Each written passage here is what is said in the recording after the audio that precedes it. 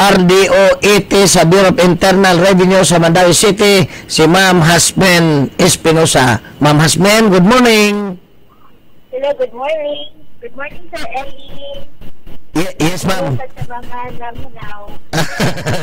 Ah, ang wa sa uban nga ah ah, ikaw mo'y wife sa akong fellow Rotarian nga si Hilbert Bautista. Hmm. Ma'am, una sa tanan, unsay update sa inyong ah, programs, goals and programs diya sa RDO Mandawi City sa Bureau of Internal Revenue. O sa so, ano, naman naman yun ang first quarter 2021. Ang lalitay mo dako kay naka-exceed sa sa goal. So as of March 31, ang goal is 2.155 billion. Mm. Pero ang nakulikta sa RDO 80 is 2.615 billion. Wow. Mm. So, naka-exceed sa og 21.35 percent. Wow, pagkanindot. So, sa uh, wala nga nalipay sa judwi nga Mm. din sa mga taxpayers Mm. makulikta jud sa usa jud ang dapat na to na makulikta. Wow. Oo. Usa mga factors ani Ma'am Hasben nga nganong mas dako ang nakulikta ninyo sa inyong goal.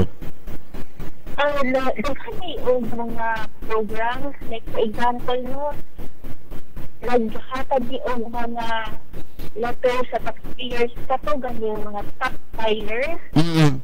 So, may iba nga mga barangays din rin nga karon ba sa sila nakadawat letter na naada sila yung mga open cases.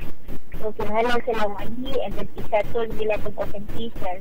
Mm. Aside ana, naasad tayo monitoring sa atong staff removing agent Mm. under sa sa nato program. Mhm. So, naasay mga taxpayers na ginamonitor na ho na- service period Mm. o karon na period kung naay diferensya sa ilahang remit amo silang pagpapanoon na nada yung gamay. Mhm. saan itong gamay ito?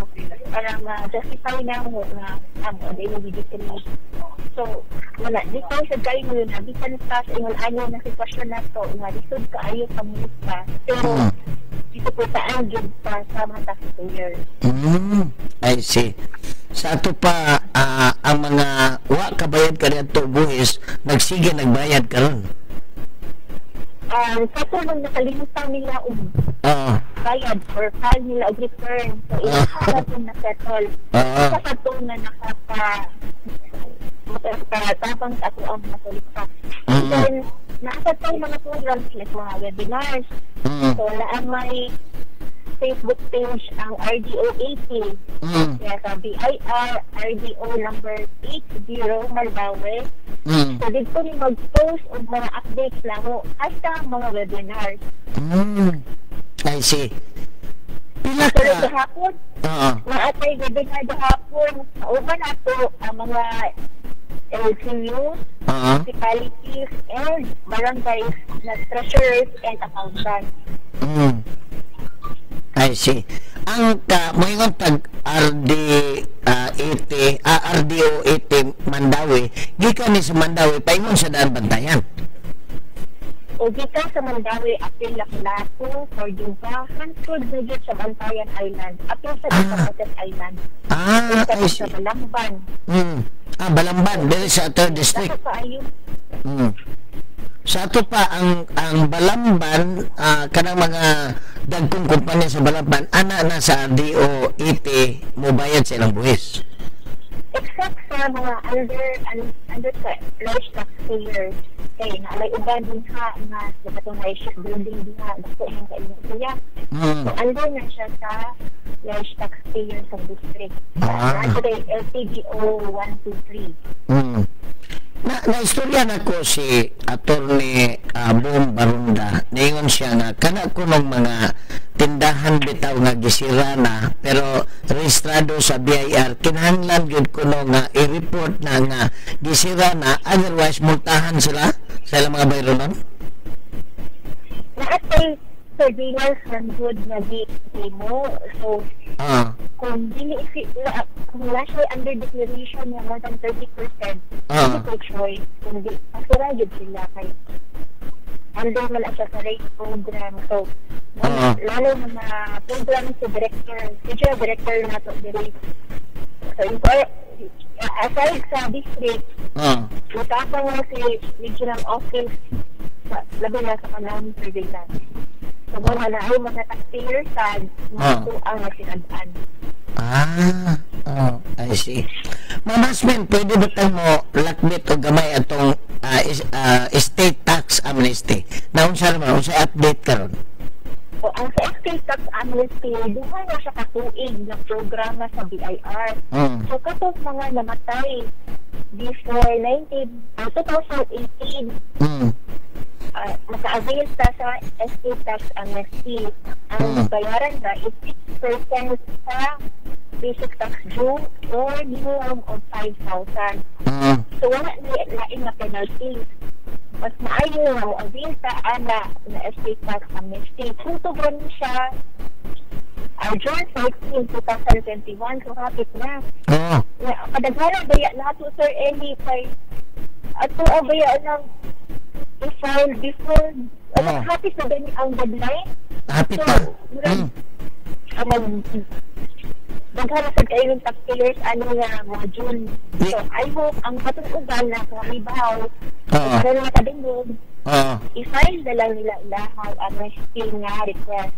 Oh, kanang uh, bisag di mahuman no basta i-file lang ah, basta palitan did ah, karong ang deadline June 14 2021 man pag abot sa ah, June 5 og ah, tanaw nila nga wa pa ma di pa kompleto pwede bang i-file na o kompleto Dili, gyud? ang process man good. Ah. Kasi consider ang mong estate tax amnesty. Ah, So dapat ma-approve daan siya before bayaran sa bangko. Ah. So i-review na siya daan. So dapat Mm. ahead jud na sila umuhatag sa ilang documents para Mm. ma-review.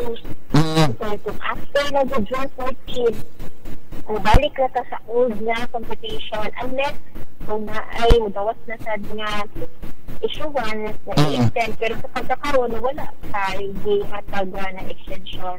mm, I see pero ah unsa ka kadugay og mo file no ah, ah, kanang kanang nangamatay na nga property owner og daghan og properties mo nang madugay siguro mamasmen no So, panakuha nila sa mga document.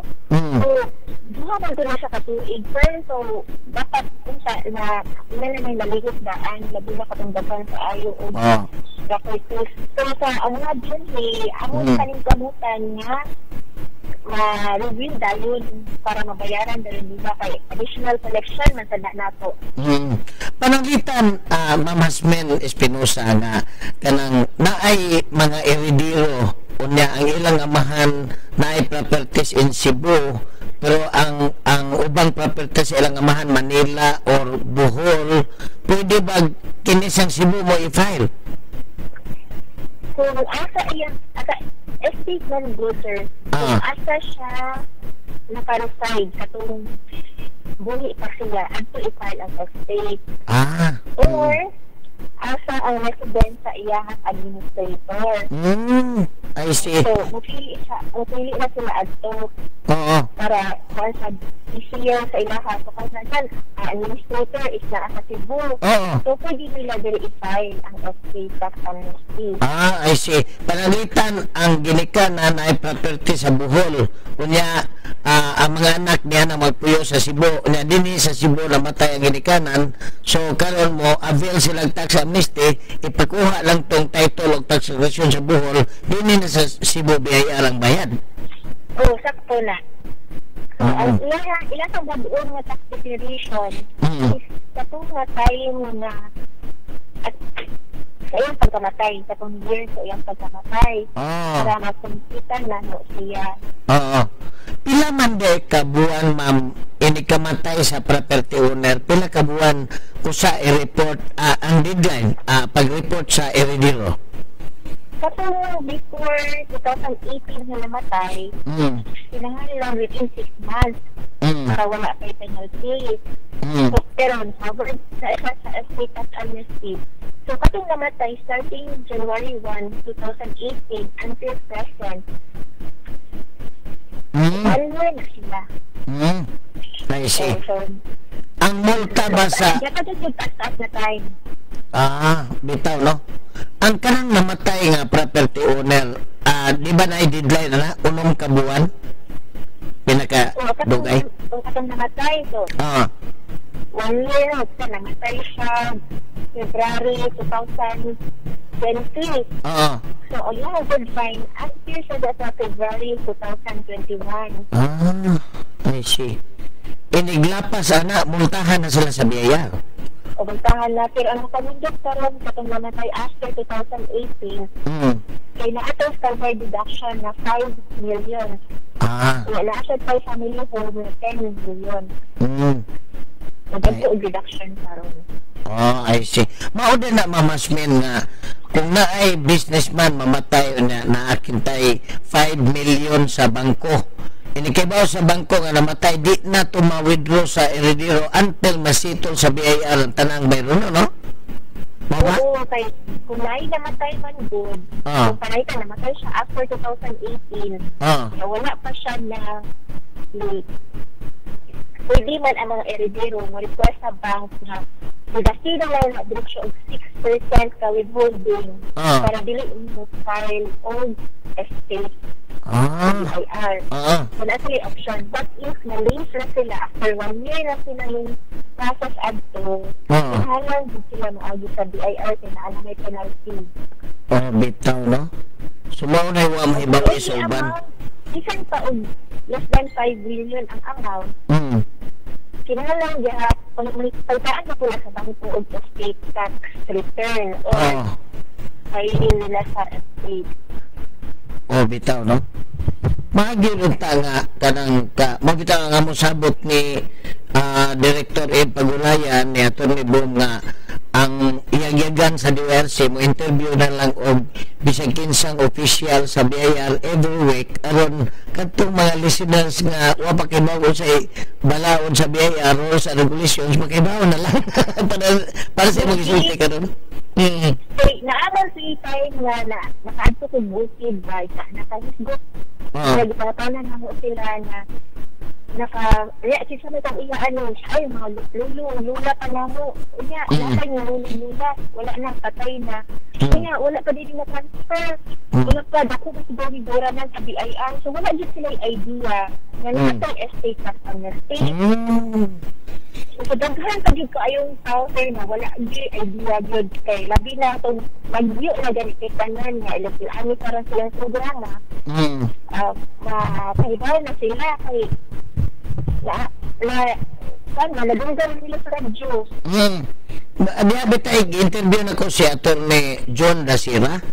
Ah, daghang nanawag din sa DRC nga ili karon pa mi nakibaw ana niya oh, usaon naman tong property sa mga mahanto sa Mindanao tuwa sa Luzon unya ah, amo pa ning ikulate ni ingon ko ngano ngano ko makakibaw nga si daghan gyud wa kibaw ana ma'am Hello ko.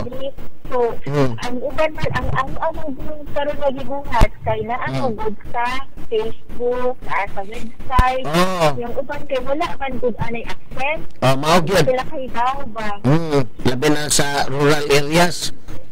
o wala nakasalamat na lang sa video na imong ning gi-invite na makaistorya sa regarding sa taxes and deadlines Hmm. Hindi na karon sir kay padung na sad ang deadline sa income tax return. Mm. So, ah, Uh, June 15, 2021 para sa 2020 na taxable year. oo. So wala tayong extension karon bitaw taon pagawas na itong approval sa PA. Oo. O, So wala tayong gihatag ng extension June 15 gihapon. Oo. But we can file the return Oo. Uh, tentative tentative return April 15 Oo. and then pwede na gawin siya ano name until May 15, 2021 without penalty. Ah, I see. Pagkanindot, ana. So at least mahibaw ang ubang tao ato ning ako ning balik-balikon imong isulti aron ah maka ah, aron ang tanan ba nga nagpakadungog maka follow sa unsay rules and regulations diha sa BIR. Mm Oo. Asi. Ma'am Hasmen Espinosa of BIR RDO80 ma'am. Tagaan ka na kog higayon sa imong parting words o sa mga bulawanon imong parting words sa atong thousands of listeners karon sa Yagigan sa DYRC. Ang ako lang din kamo sa talang nga malinaw, nga ayaw kaabot o deadline sa pag-file sa income tax return for 2020. Ang atong deadline is karong April 15, 2021. But we can still file tentative returns until April 15, 2021 and then i-amend lang na po ang return up to May 15, 2021 ang final na na siya na figures without any penalties. So, kapag wala sa dala po sa ato ang gobyerno kaya kinahanglan doon sa funds karon. Okay, thank you ma'am. Salamat. kayo, Sir Elias. Yes, yes ma'am. thank you kayo. Sa panahon kad na imong gihatag sa BIR. Yes, ma'am. Salamat. Mao to si Ma'am Hasmen Espinosa. Ah, asawa to ni ah, fellow Rotarian Herbert Helbert Espinosa. Ah, kani si Rotarian Herbert Espinosa is a very humble person. Ah, ah daghang amigo. Mana nga pagkaibaw na ko nga ah, pag tawag na ko niya, ma'am, pwede ka bang ma interview na ko sa Yagyagan sa DWRC about uh, rules and regulations sa BIR about estate tax amnesty. Kaya sa okay, okay. Asawa bitaw ko ni Herbert Espinosa. wow, pagkagamay sa kalibutan. no? Ah, at least ang imong ma-interview ah usa ka dakong official sa Bureau of Internal Revenue unya kamausad mo ah, explain ngadto sa atong mga listeners unsa may ilang goals and programs. So kaung ting file og income tax ayo hagin na ninyo unya nagkaduol na ang deadline sa estate tax amnesty. Kinsa tong property owners nga namatay. Unya wa ma-report sa BIR multahan na mo, no? Ug tungod kay aw pananglitan na ay mga property owners dagkog property nga nabilin pagkamatay namatay in 2005 baron kunya million million ang properties natural tungos kada kong multa million po ang imong bayranan pero mo avail ka sa estate tax amnesty nga ang deadline June 14, 2021 kanang imong million-million nga bayranan murag libo-libo na lang na. No? Mo bitaw nag-ingon nga kining estate tax amnesty mo na nag gift from God kay kung nagkalisod ka kay wa kay minilyon ni bayad sa BIR mahimo na lang libo-libo imong bayranan. Na napa kay mga properties nga masunod sa namatay nimo nga mga katiguangan no? O